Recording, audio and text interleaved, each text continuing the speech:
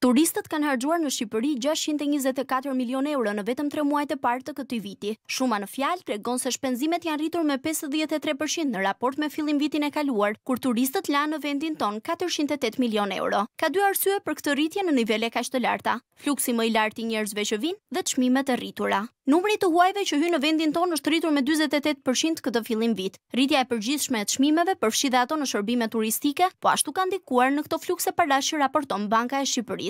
Kujtojmë se gjatë vitit 2022 si të plot, turistët shpenzuan në vend rreth 2.8 miliardë euro duke regjistruar nivele rekord të larta. Nivele rekord shpenzimesh raportohet edhe nga shqiptarët jashtë me 434 milionë euro në tre muajt e parë të 2023-shit. Kjo bën që bilanci neto mes shpenzimeve të turistëve në Shqipëri dhe shqiptarëve jashtë të arrin në 190 milionë euro, niveli më i lartë i regjistruar ndonjëherë në këtë periudhë të vitit.